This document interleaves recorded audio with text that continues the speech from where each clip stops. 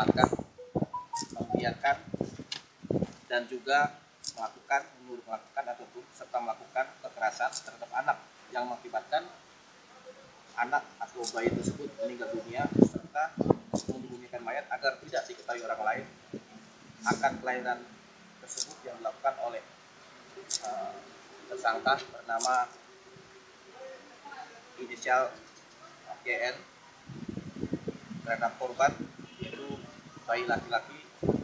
yang baru dilahirkan yang berlokasi di kebun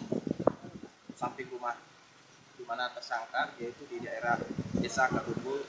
Mandawai. Status status pelaku masih gadis atau udah nikah?